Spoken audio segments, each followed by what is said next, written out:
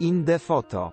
Piast Krzyszowska, ale to nie był koniec, w finale polska kobieta uległa poprawie i nie miała drugiego roku. Oczywiście jest to również rekord życia 27-letniego 27-letniego.